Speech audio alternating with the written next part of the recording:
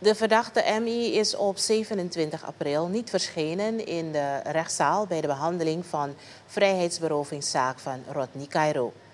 MI is de medeverdachte in deze zaak waarbij gepoogd is Cairo van zijn vrijheid te beroven. Tegen hem, de verdachte, is daarom vanwege zijn afwezigheid verstek verleend. De verdachte is ten laste gelegd het medeplegen van opzettelijke vrijheidsberoving, het medeplegen van beroving met geweld en het medeplegen van huisvredebreuk. De zitting is uitgesteld naar 8 juni. Op die dag zal de officier van justitie bewijs presenteren rond de gepleegde misdrijven en een strafeis doen.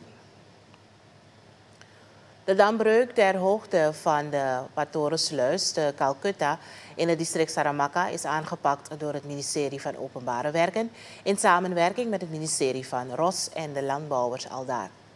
Vanwege de springvloed in de Saramaka-rivier ontstond op vrijdag 5 mei een dambreuk. Door snelle aanpak zijn de landbouwers niet onder water gelopen. De Patorensluis valt onder het ministerie van LVV.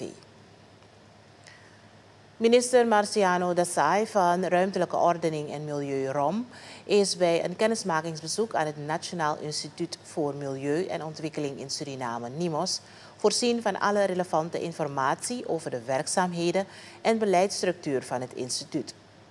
De Milieuraamwet blijft een vraagstuk die om veel aandacht smeekt, benadrukt Dassai. Ook rekent de minister behoud van de samenwerking en ondersteuning tussen ROM en NIMOS.